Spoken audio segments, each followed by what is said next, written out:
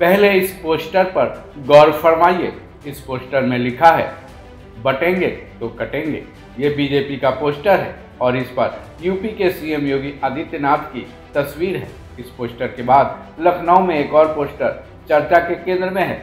अब इस पोस्टर पर गौर कीजिए। इस पोस्टर पर लिखा है, जुड़ेंगे तो जीतेंगे।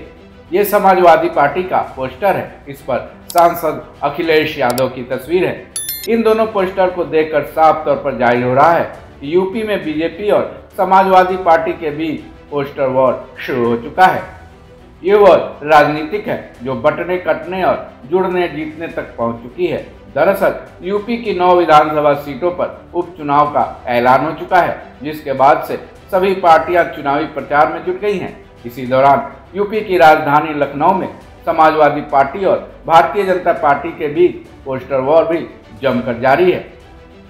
हालाँकि बटेंगे तो कटेंगे वाला बीजेपी का पोस्टर उसके कार्यकर्ता की तरफ़ से महाराष्ट्र में लगाया गया था, जिसके जवाब में अब समाजवादी पार्टी की तरफ़ से यूपी की राजधानी लखनऊ में नया पोस्टर लगाया गया है। लखनऊ में राजभवन से समाजवादी कार्यालय की तरफ़ जाने वाली सड़क पर यह पोस्टर लगवाया गया है।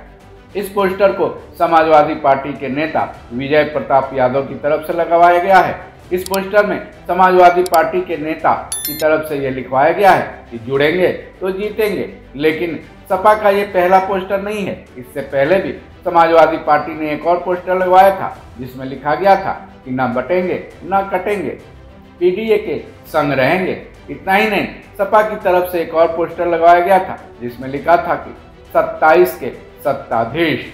यूपी में पोस्टर वॉर केवल बीजेपी और समाजवादी पार्टी के बीच ही नहीं चल रही, बल्कि बीजेपी की सहयोगी दल निषाद पार्टी की तरफ़ से पोस्टर वॉर भी खूब चला है। कुछ दिन पहले ही निषाद पार्टी ने पोस्टर लगवाए थे, जिसमें निषाद पार्टी के नेता ने पार्टी के सुप्रीमो संजय निषाद को 27 के खेवानार बताया था।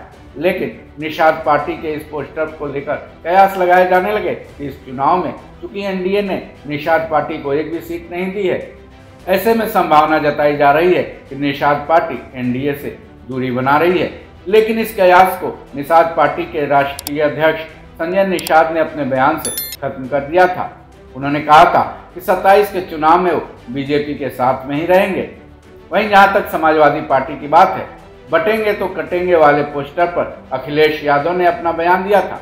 बहरहाल यूपी के उपचुनाव के जंग में पोस्टर वॉर का यह सिलसिला शायद वोटिंग तक चलने वाला है, जिसके ज़रिए बीजेपी और समाजवादी पार्टी एक दूसरे पर तंज कसने वाले हैं। वो भी जमकर, ऐसे में देखना यह दिलचस्प होगा कि अगला पोस्टर किसका लगता है और उसका जवाब क्या दिया जाता है। इस खबर में बस इतना ही।